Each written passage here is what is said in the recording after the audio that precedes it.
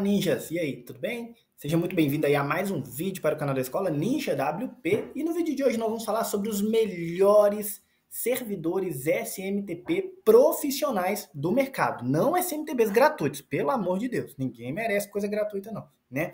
Então, para você que é novo por aqui e ainda não se inscreveu no canal da Escola Ninja WP, se inscreva, porque aqui você vai aprender coisas realmente profissionais, coisas feitas de profissional para profissional, ok? Então, vamos lá, chega de mais delonga.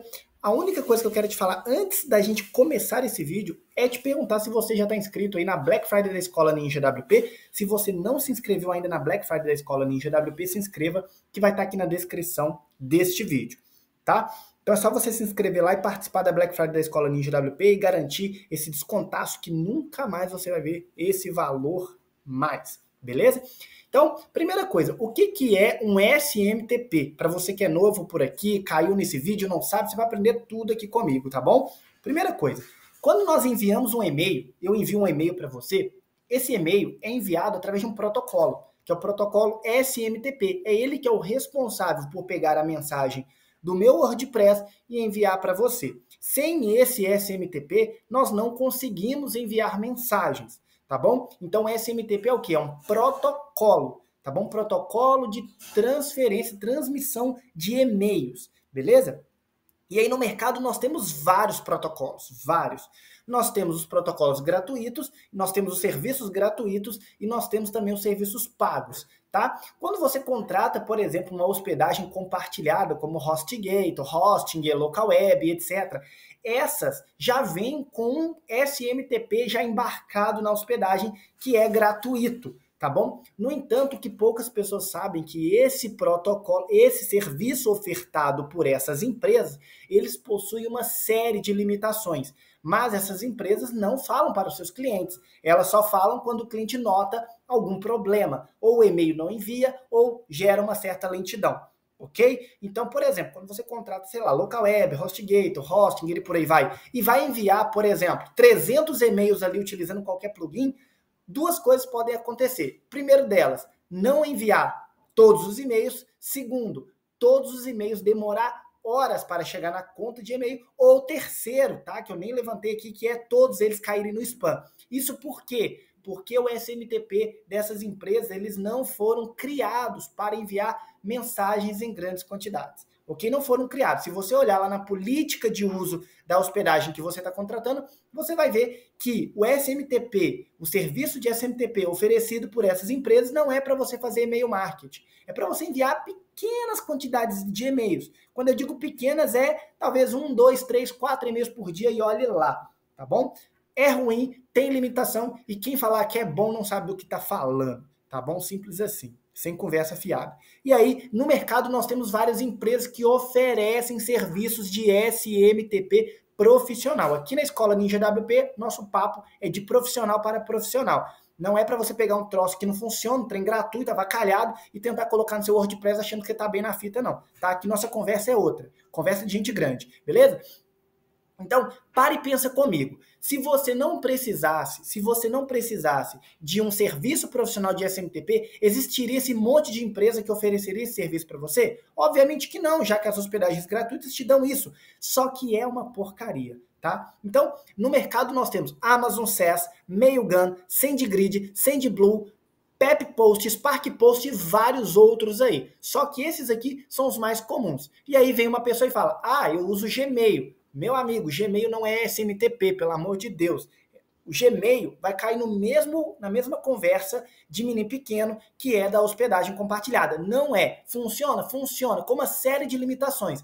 Vai tentar mandar 500 e-mails com SMTP do Gmail para você ver. Tá bom? Vai tentar mandar 10 mil e-mails com SMTP do Gmail para você ver. Vai tentar mandar. Não vai funcionar. Então, ele não entra no, no, no, no, no quesito SMTP. Tá bom? Não entra, dá problema, eu já usei, é bem ruim de configurar, é horrível os envios e não entra no quesito SMTP, beleza? Então agora nós vamos falar aqui sobre esses seis serviços que nós temos aqui de SMTP, sendo que o Amazon SaaS, nós já temos vídeo dele no canal, ensinando como abrir uma conta na Amazon SaaS. E eu quero comentar com você sobre cada um dos serviços, tá bom?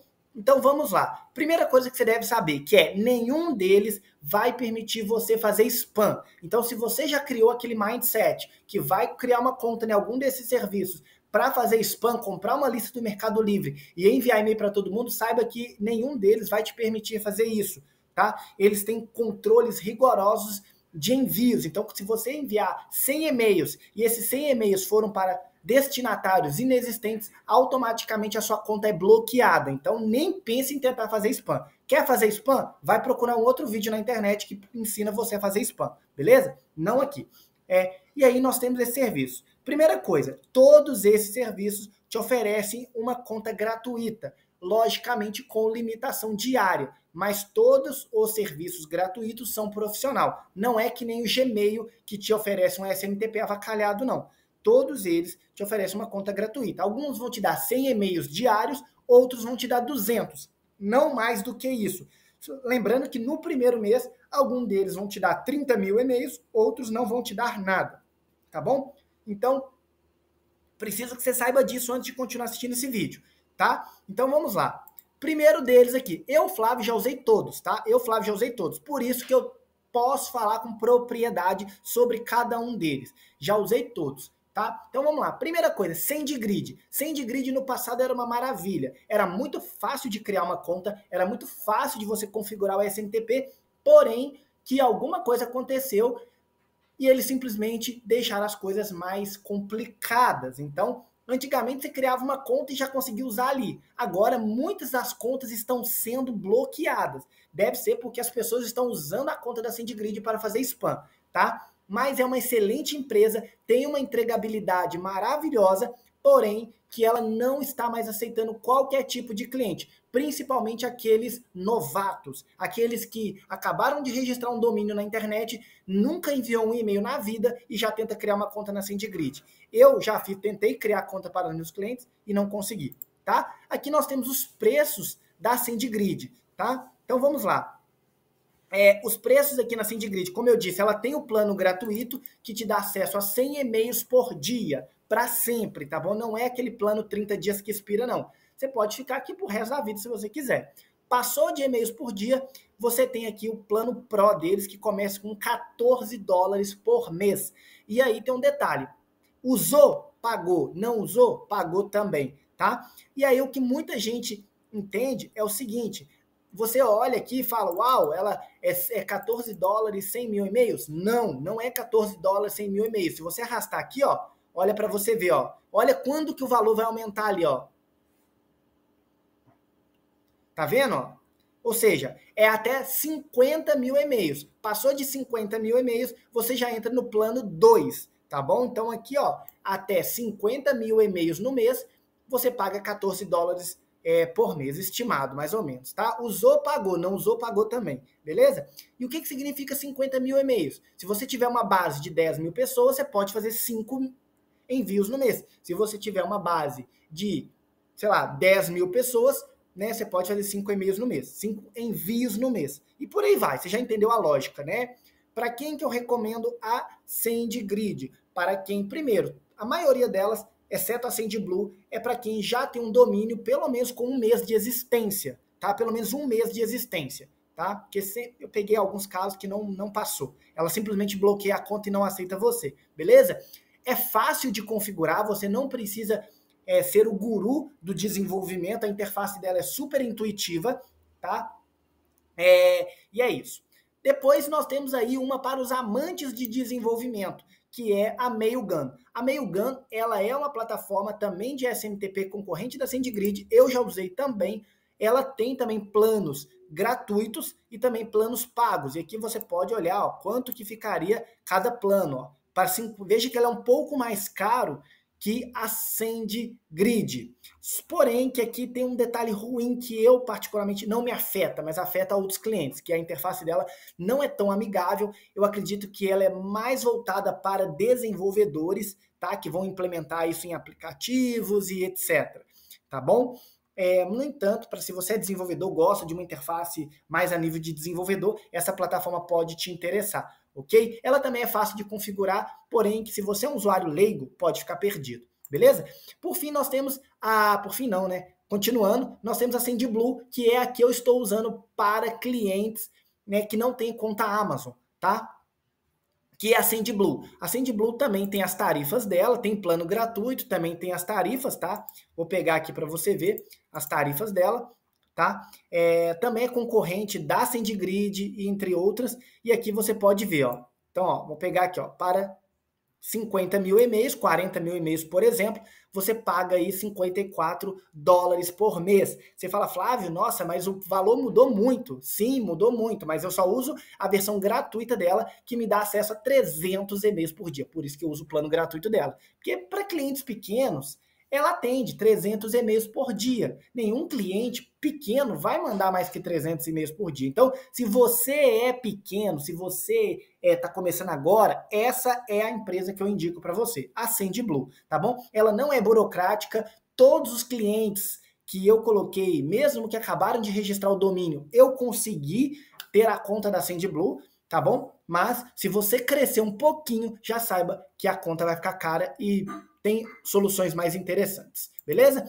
Depois nós temos aí a Pep Post, né, que até mudou o nome agora, ela também é outra empresa também de serviços, tá? Essa, essa empresa aqui, ela não foca muito em falar os seus preços, ela tem um outro modelo de negócio, ela também é voltada para desenvolvedores, tá bom? É, já usei na época que ela era aberta depois que a Netcore provavelmente comprou essa empresa. Não sei qual foi o lance que rolou, mas eu já usei ela no passado.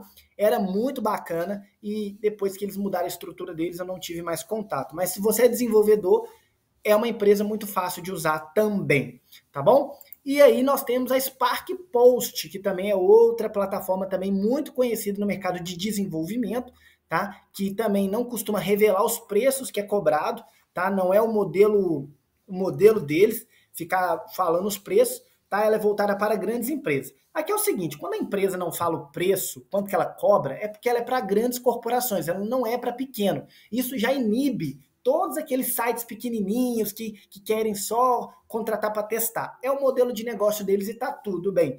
Eu já tive a oportunidade de trabalhar com o Spark Post em dois projetos. É uma plataforma voltada para grandes empresas.